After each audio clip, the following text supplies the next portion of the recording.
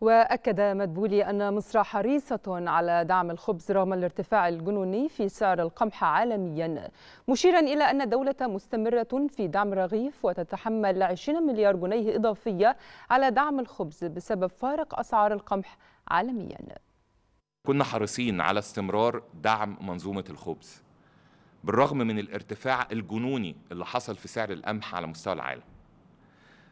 عشان بس نبقى عارفين إحنا كمصر بنستهلك قد إيه. مصر بتستهلك يوميا 270 مليون رغيف. خبز مدعم. بنقترب في السنة من 100 مليار رغيف. طب إحنا طبعا كلنا عارفين إن سعر الرغيف المدعم قبل زيادة القمح إحنا كنا بنشتري القمح من سنة كان سعر متوسط سعر الطن 260 دولار. الفترة السابقة وصل سعر الطن ما يقرب من 500 دولار. لكن خلينا ناخد المتوسط. إحنا كان تكلفة رغيف الخبز علينا قبل ما تحصل هذه الأزمة كان تكلفته على الدولة ب 60 قرش وكانت الدولة بتبيعه بالخمس قروش. النهاردة طب تكلفة الرغيف قد إيه؟ وصلت النهاردة مع زيادات القمح 80 قرش.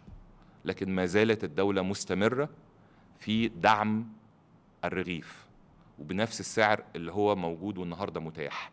أنا بس حسبة بسيطة لو بنتكلم في 100 مليار رغيف في السنة وبنتكلم في 20 قرش فرق زاد تكلفة من 60 قرش ل 80 قرش ال 20 قرش دول يعملوا 20 مليار جنيه إضافية على الدعم اللي موجود بالفعل للخبز.